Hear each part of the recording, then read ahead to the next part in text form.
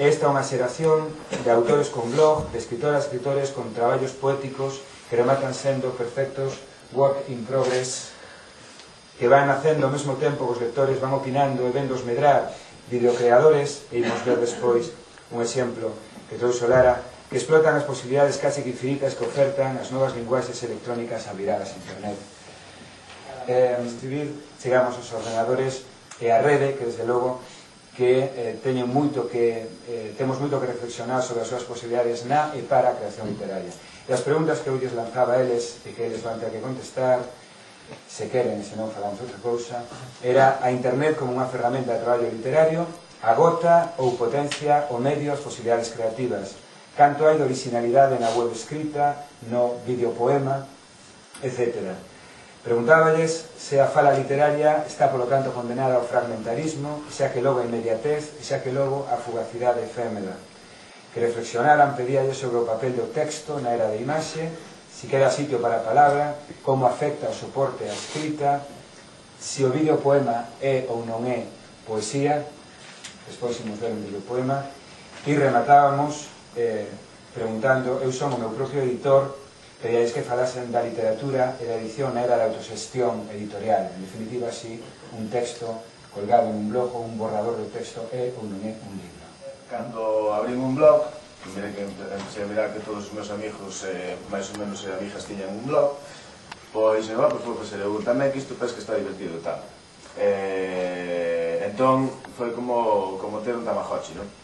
Eh, de repente, había que alimentalo todos os días. Entón, eh, se non morría che tal, xa, ninguén se pasaba por ali, eh, estaba desconectado da vía social, morría bastante. Entón, eh, ese, eso foi o que me impulsou a, a intentar escribir pois, por aí dous, tres textos, incluso chegou épocas de cinco e tal, non? non, non salías do blog a ver se, a ver se había máis comentarios. Eh, entón, era, era unha cousa de, de adhesión, non? Total. Eh, gracias a iso, eh, de ser un hicho que andaba por aí de festa, bueno, seguín indo de festa e tal, pasando un pouco de todo, pero, pero iso conseguiu que, que me cambiase a mirada, porque eu era un hicho con blog, non? Entón, eh, todo, todo o que me pasaba eh, era susceptible de ser aproveitado para pa meter ali na, no Tamagotchi. Entón, eh, gracias a iso, pois, pues, cambiou a mirada, non? Cambiou a forma de, de mirar o mundo. E eu penso que eh, estas cousas de, de facer música, e, eh, bueno, pintar, e todas estas cousas eh, teñen que ver con ter unha mirada. Non? Eh, a min a, a mirada eh, eh forneceu unha forneceu unha o, o blog. Non? Partir sen pedir nada a cambio, a de crear sentir que desafogas as túas necesidades artísticas, sexan da índole, da índole que sexan, e a de saber que case sen moverte podes chegar a moitas persoas distintas entre sí, e obter unha resposta.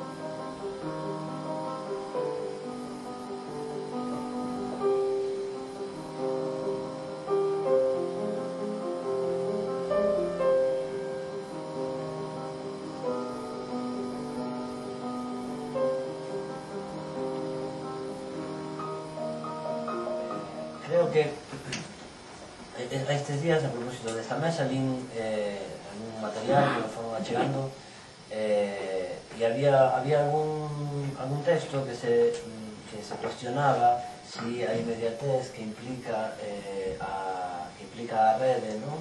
Eh, la, la, a interacción entre o, que, que, que a rede lle dá a interacción entre o autor e o, e o receptor, ¿no? o lector, eh, si esa inmediatez non facía, non podía facer que, eh, que o proceso de produción se vise moi condicionado por as demandas, digamos, o, do, do sector. ¿no? Pero digo eu, isto pasou sempre, ¿no?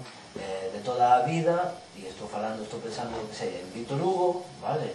De toda a vida, houbo quen eh, escribiu literatura moi condicionada pola necesidade, por, pola demanda do mercado, vale? Pola demanda dos receptores, e houbo quen fixo literatura a su bola, non? Eh, isto pasou sempre e non ten por que pasar agora. Quero decir, para min supoñer que o, que o blog que o, que o fenómeno de internet eh, vai implicar necesariamente que todo o que facemos se vexa extremadamente condicionado polo que opinan os lectores e pensaron moi pouco ben de nós e, e, e menospreciamos bastante